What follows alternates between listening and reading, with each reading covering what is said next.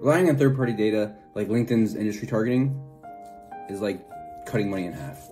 Just this. If you're like me, when you started on LinkedIn, you're all about the industry targeting. It looked amazing. Oh yeah, we only work with software companies, so oh, is that a computer software and services industry? Every single buyer that I ever want to talk to ever is going to be in there for sure, and it's going to be no waste. You quickly learn that not everyone in that industry is the right company. A lot of it's like software development, IT services. And then you start realizing, oh wait, how why am I not showing in front of all these fintech companies? Oh, they're under finance or banking. Let's target that. No, no, no. A lot of non software companies in that too because there's a lot of banks. I actually tested using an account list, manually verified account list of software companies versus industry targeting. So computer software and services, internet, information technology and services, and computer network and security.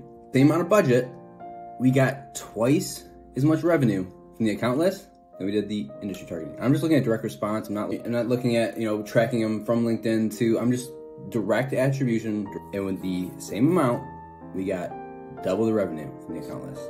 Cost per lead was a lot lower on industry targeting. So if I was the 15 year old me, I would have been like, oh, cost per lead, yay. But obviously, that would have been bad. The revenue was a lot higher because the quality was a lot better in the account list.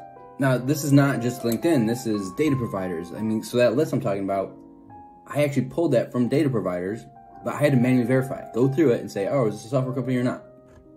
And there was a lot of waste. I think the last the last one we pulled when we did it globally is like 50,000 accounts and it whittled it down to 16,000. There's just a lot of companies that were not actually software companies. Not good. So relying on third-party industries or not even manually verifying data providers it's quite literally gonna cut your money in half. So in 2023, when you gotta do more with less, yeah, it's gonna take some time. You gotta actually do some digging to pull that list, but you can get twice as much for the same amount. It's a pretty good deal to me.